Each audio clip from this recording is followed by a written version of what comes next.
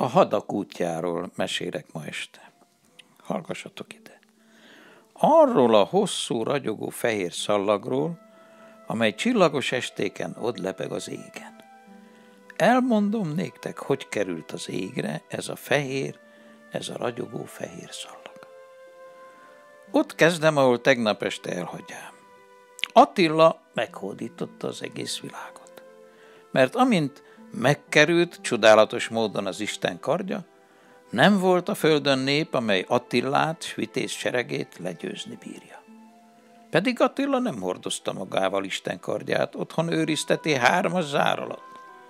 De azóta, hogy megkerült a kard, szívét nem szállotta meg többé csüggetség.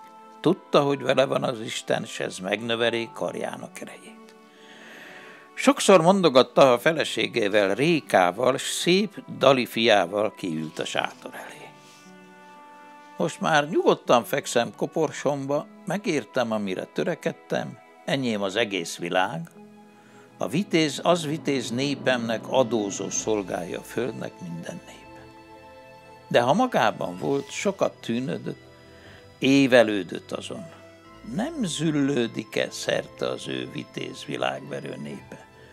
Azt szerette volna a legkisebb fia, Csaba lészen a hunok királya az ő halála után. Sok fia közt ez volt a legkedvesebb, a legvitézebb. Csabát szerette, kényeztette az édesanyja is. Egyszer aztán, mikor Réka erdőben, ahol legkedvesebb vára volt Attilának, együtt falának mind, nagy szomorúság érte Attilát és fiáit. Réka királyné nagybeteg lett, és érezvén halálát, ágyához hivatá urát és fiait, akik között Aladár volt a legkisebb. Csaba a legfiatalabb, és mondá búson könnyező szemekkel. Hát én most meghalok, de ne temessetek el hét napig. A hetedik napon sorba jöjjetek hozzám, édes fiaim, és csókoljátok meg mind a két szememet. Akinek a csókjára fölnyílnak szemei, az legyen a hunok királya. A többi nyugodjék meg ebben. Isten rendelése ez. Álmomban jelenté meg ezt nékem. Ezt mondván Réka, lehunta szemeit és meghalt. És nem temették el, míg a hét nap le nem telt. Ekkor sorban megcsokolták mind a két szemét a fiai. Először Aladár, aztán a többiek de Réka szemei nem nyíltanak meg. S jöve legvégül Csaba, és sírva borult édesanyjára, és megcsókolván szemeit ím fölnyitá azokat Réka, és rámosolygott lett fiára. Te leszel a hunok királya, fiam, a te csókod volt a legmelegebb. Ím itt fekszik ágyon, mellett egy nyíl, legyen a tiéd, sok nagy bajodban hasznát veszed. Ezzel ismét lovonta a szemeit, s fel sem nyitá többé soha. Lent, a vár alatt, hegynek tövében folyik egy patak. Annak a partján ástak sírt neki, és abba temették el. S rengeteg nagy követ hengerített rá Attila a hegynek tetejéről, hogy még a világ, világ emberi kéz meg ne háborítsa Réka nyugodalmát.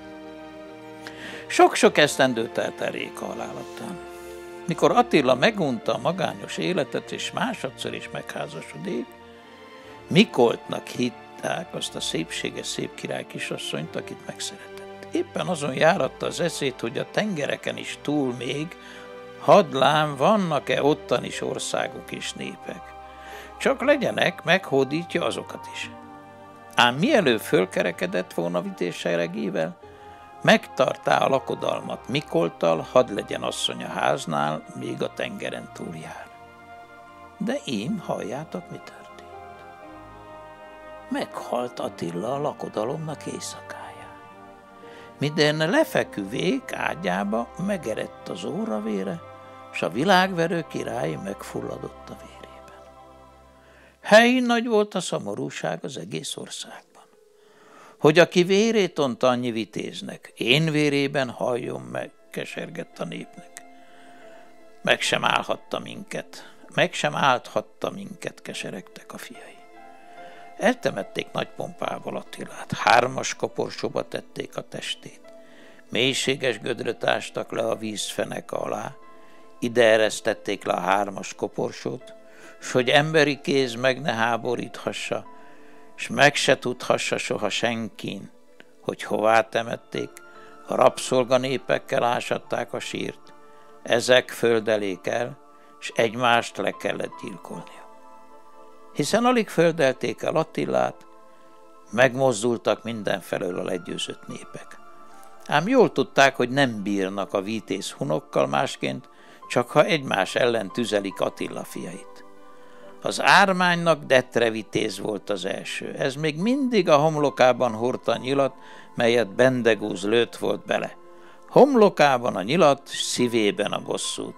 Még akkor megfenyegette Bendegúzt, megállj, ezt a nyilat megkeserülő még a hetedik nemzetséged is. Ment egyenesen Aladárhoz, és mondta neki. Hát te engeded legidősebb létedre, hogy Csaba a legkisebb legyen a hunok királya? Téged illet a királyság Isten és ember erőt, mondta Aladár. Igazad van, Detre, de az édesanyám akarta így, neki pedig Isten rendelte, hogy az legyen a hunok királya, amelyiknek csókjára felnyílnak a szemei. Ó, te világ bolondja, te mondád, Detre, hát nem vetted észre, hogy anyád mindig Csabát szerette a legjobban. Ha téged szeretett volna jobban, a te csókodra nyíltak volna föl a szemei. Megmaszlagosodott ettől az áfmányos beszédtől az aladár feje. Elhitte Detrének, hogy megcsalta őt az édesanyja. Mindjárt megüzente Csabának, küldje az ős hátrába az Isten kardját, mert ott van annak a helye. Visszaüzen Csaba. Az Isten kardja hunoké bátyám, sem az enyém, sem a tiéd. Hát, ha szép szerével nem adja, elveszem erővel, mondta Aladár. Két pártra szakadtak a húnok, az egyik rész Csaba, a másik Aladár mellé állott. De fölkerekedtek a gótok is, s mindenféle meghódított népek, hanem az ármányos detre kitanította őket, hogy egy rész pártoljon Csabához, a más rész Aladárhoz, egymást azonban nem, áll, ne bántsák, csupán a hunokat öljék, gyilkolják, mikor a két tábor összeütközik. Ám az ármányos detrének nem volt elég, hogy Aladár Csaba ellen tüzeltes, mikor már három napja tartott a szörnyű hadakozás, s a hunok vérétől folyók, patakok kiáradtak, egy biztos emberét Csabához küldte ősz öreg jövendő mond a képébe, és ez azt jövendelte a királyfének. Hallod-e te Csaba királyfi? Ha azt akarod, hogy te légy a hunok királya, vedd elé az Isten kardját, anélkül le nem győzheted a ladárt. Hitt is, nem is Csaba ennek a beszédnek, de addig s addig gondolkodott, tűnődött, hogy felnyitatta a hármas zárat, és kivette Isten kardját. Eleget mondták az öregek, hagyd az Isten kardját, Csaba királyfi, csak addig lesz velünk az Isten, míg testvér népben nem mártódik-e kard. De Csaba nem hallgatott az öregek szavára. Összeszedte megfogyatkozott seregét, és megvillogtatván Isten kardját nekivágott a rendtentő nagy seregnek. Messziről kiáltá Aladárnak, itt az Isten kardja bátyám! Sim halljátok, összecsapott a két testvér, hogy ég s föld megnyilalott belé. Szikrázott Isten kardja, és lángolt oly rettenetesen, hogy szemük világát vesztették sok ezeren, és holtan bukott le szürke paripájáról Aladár, s mellőle sok vitéz hun levente. Ám egyszerre csak halljatok csodát, Isten kardja sem szikrázott, sem lángolt többe. Ráfrecsent Aladár vére, s egy csepp vértől kialvék szikra és láng. Hiába vágott csapa jobbra, balra, sebet többé nem vágott te kard. Ha nincs vele a maga kardja, ott telik meg őt is. Megvert az Isten sóhajtott föl Csaba. Vége a dicső hun nemzetnek vége. Világverő vitéz seregéből nem maradt több ötezer embernél, a többi lehettek tízezren, sebtől, svértől valaborítva. Fájt a szíve, majd megszakadt, hogy most ezek a megsebesült vitézek is mind elpusztulnak itt. Ha legalább ezek megmaradnának, ha ő ezeket meggyógyíthatná, még talán megtarthatná ezt a szép földet a hun nemzetnek. És ím, hogy ezen tűnődék, megnyílt az ég, s turulmadár ereszkedett nagy égi ragyogásban a hunvitézek fölé. Alább, alább ereszkedék, és megszólalt a turulmadár. Ne csüggedj, Csaba, vedd elé a nyiladat, amit édesanyád halálos ágyán adott néked. Lőj ezzel a nyillal, és szaladja veszélye után, amely növevényre esik, annak a terjével kenesd meg vitézeidnek sebjeit, és meggyógyulnak menten. Ez az én édesanyám hangja kiáltott Csaba, de pillanatban szélnél sebesebben felröppent a turulmadár, és eltunt a magasságos égben. Azé az, kiáltották a hunvitézek is, ez a réka hangja, Mindjárt hozták a csodanyilat, s Csaba királyfi meghúzta az íjat, keresztül célozván a vigáros mezőn, ahol álltanak. És szaladt a nyílvesző utána, a szélnél is sebesebben. S hát a veszőt meg is találta, egy széles levelű növevényen. Egyszeriben szedtek ilyen növevény sokat, és megkenték ennek tejével a vitézek sebeit. Erősebbek, szebbek lettek, mint annak előtte voltak. Fölkerekednének erre a hun vitézek, s elindultak kelet felé, abba az irányba, amerről Bendegúze földre vezette a hunokat Szitjaországba. Vezes vissza minket a magyarokhoz, mondák a hunok Csabának, s hívjuk el őket ebbe a szép országba, közös erővel újra elfoglaljuk. Szívemből szóltatok, mondá Csaba királyfi, ezt akarom én is, menjünk vissza. De nem mind, Maradjon itt háromezer vitéz, székeljenek itt, amíg mi a magyar testvérekkel visszatérünk. Nem mondhassa senki, hogy csúfosan itt hagytuk Attila országát. És még aznap kiválik háromezer vitéz Csaba seregéből, és letelepedének az országnak szélén a szép Székelyföldön. De mielőtt visszaindult Csaba Szitja országba, áldoztak a tűznek, áldoztak a víznek, aztán a levegőnek, s végezetül a földnek.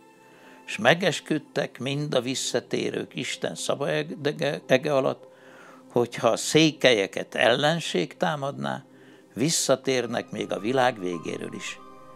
Hírül hozza nékik a tűz, ha ez nem a víz, ha a víz nem a levegő, ha ez nem a föld. Visszajövünk, vissza kiabálták, hogy ég, föld belé. Ahol az olt vize eredt, ott esküvének meg. Akkor Csabar királyfé elévevé az Isten kardját, és belemártaná, belemártá az oltnak vizébe, mondá hangos szóval. Oltnak vize, mosd le a testvérem vérét Istennek kardjáról. És ím az aladár vére lefolyt az Isten kardjáról. Ragyogott, villogott, mint annak előtte, s tevék hármazzár alá ismét, is így vitték hazafelé Szitja ország. Hát de alig indultak el, még a határig sem értek, a föld megrendüle, búsan hajladoztak, integettek a fák, mintha mondták volna, vissza-vissza, bajba van a székely. Úgy volt, ahogy a fák megmondták. Megtámadták a székelyeket mindenféle népek. Vissza-vissza kiáltott Csaba, utánam vitézek, s vágtattak sebes szélnél sebesebben, a gondolatnál is sebesebben, s széjjel verték az ellenséget, de úgy, hogy hírük poruk sem maradott. Aztán megint elindultak Szitjaország felé, mentek hegyeken, völgyeken által, erdőkön, mezőkön keresztül. És hát a hetedik napon, ahogy egy nagy folyóvizen át akarnak menni, egyszerűen megdagad a víz, kicsap a medréből, zúgott, bőgött rettentően, és mintha minden szúgta bogte volna, vissza-vissza bajba van a székely s vágtattak visszafelé sebes szélnél sebesebben. A gondolatnál is sebesebben, és hát a víznek igaza volt. Körülfogták a széket mindenféle népek. Széjjel verte ezeket is Csaba. Hírük, poruk nem maradott ottan.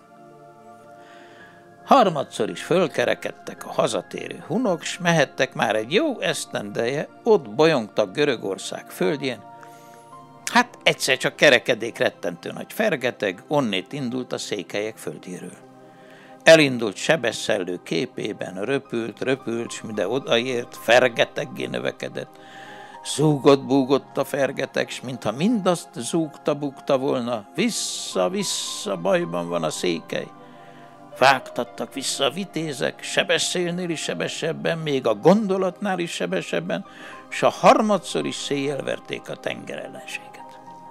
És indultak vissza Szitja országba negyedszer is. Hát telt múlt az idő, eltelt ötven, eltelt százesztendő, nem bántotta a széket semmiféle ellenség, élhettek békében. De hiába várták Csaba királyfit a magyarokkal. Azt hitték talán nem is találtak vissza, ott vesztek Görögországban. Pedig visszataláltak. Csaba királyfi visszavitte Isten kardját a magyar testvéreknek. Mondá nekik. Ím az én apám megtalálta Isten kardját, meg is hódítá vele a világot. Ám ahogy behúnyt a szemét, a gonosz szellem belénk költözék, testvér testvérre emelte kardját. Megtántorodék az én lelkem is, Isten kardját testvéremnek szívébe mártám, de mielőtt eljövék, megmártám az oltnak vizében, ím, lássátok, ragyog, villog, mint ennek előtte, jertek magyarok, foglaljuk vissza Attila országát. Hát, nagy kedve lett a fiatal vizézeknek, hogy induljanak nyomban, annyi sok szépet regélt Csaba királyfi Attila országáról, de mondták az öregek, várjatok, addig ne induljunk, míg közülünk valakinek Isten meg nem jelenti, menjünk-e, vagy sem. Na, ebben megnyugodának a magyarok, és éltek tovább Szitjaországban. Ezen közben a vitéz székelyek is elszaporodának, és éltek békességen. Messze földön híre volt nagy vitézségüknek, ellenség nem merte megháborítani, hanem a sok mindenféle népek nem nyughattak. És ahogy egy kicsit erőre kaptak, közre fogták a székeit minden oldalról, hiszen csak többen lettek volna, de még a fűszál is feltámadt ellenük, és egy székelyre száz ember is jutott, és hiába néztek Szitjaország felé, nem jött segítség. Csaba királyfi már rég por és hamuvala, őt ugyan hiába várták. De halljatok csodát! Mi történt? mikor éppen az utolsó csatára készült a szének, a székely éjnek éjszakáján megvilágosodik az ég, és ém a csillagoknak fényes ragyogása közt. Megjelenik Csaba királyfi, és nyomában a vitézek, kik sok száz esztendővel annak előtte háromszor verték széjjel a székelyek ellenségeit. Nem hagyta el a székelyeket az ő csillaguk, a Szaturnusz csillag. Hírül vitte a magas mennyországba Csabán. Bajba van a széke. Fel-fel vitézek, kiáltott Csaba, s én fölkerekedének a halott vitézek. Végig száguldoznak a csillagos ég voltozatján. Sebeszélnél sebesebben, a gondolatnál is sebesebben, s a székely határon, hol az égre áhajlik a hegyekre, leszállának az égből. Rett rettentő rémület szállja meg az ellenséget, a hun vitézek láttán, kik az égből szálltak le, s nem hagyják a székely testvért nagy veszedelmében. Fut a tenger ellenség, esze nélkül nincs az a vitéz, aki megállni merjen, aki vissza is tekintsen. És halljátok, csodáljatok, Csaba és vitézei ismét felszállanak a csillagos ég boltozatjára, és visszaszáguldanak azon az úton, amerről jövének. Ragyogó fehér út verődik a paripák lágba nyomán, amely el nem enyészik soha, és megmarad örökkön örökké a hadak útja. Ott ragyog az égen, csillagos esték.